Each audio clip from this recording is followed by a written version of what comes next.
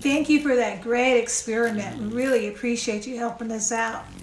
Now it's time to go through our commandments. We are on commandment number six today. We're going to be learning the sixth commandment. So I'm going to go through the commandments, and again, they're found in Exodus chapter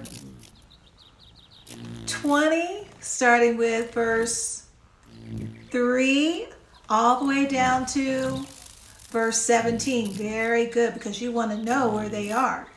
It may be a time that you want to share them with someone else, and it'd be good if you know where to find them. The first commandment was, You shall not have any gods before me. No other gods before God. Because we know that He's the only true and living God, so we don't worship anyone above God. The song that went with that was our song that we love to sing, Only Elohim.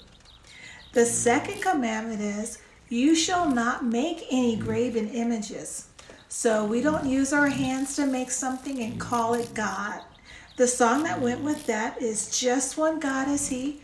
And then there's a second song that goes with that, Je t'aime, King of Kings, which means in French, I, what else?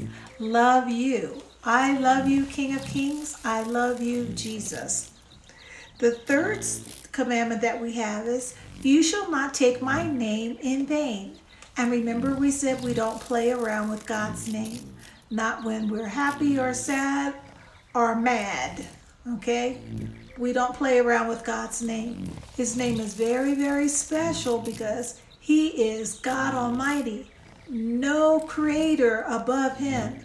In fact, He is the only creator. So we don't play around with His, his name. So we don't take God's name in vain. And the song that we sing with that is Love His Name. And that's our Hawaiian song. So again, if you have your Hawaiian gear, you can get it out and enjoy this song. The fourth commandment says, Remember the Sabbath day to keep it holy. So God gives us six other days that we can go to school and parents can work, but on the seventh day is a special, special day that God has planned for us. It's our date with Him every week, the seventh day, whether we're at church, the building the church, or if we are at home. And remember, boys and girls, we learned that you and I are actually the church. That's who Jesus is coming for. He's coming for us, not the building. He's coming for us. The song that went along with that is a very beautiful song, and it is entitled Keep the Sabbath. Then we had the fifth commandment that we learned last week, and it was a commandment with a promise. Honor your father and your mother, that your days will be long upon the land that the Lord God gives you. The song that went with that was Honor Your Parents. And today we have the sixth commandment, very short one. You shall not kill. You don't have the right, and I don't have the right to take somebody else's life. You shall not kill.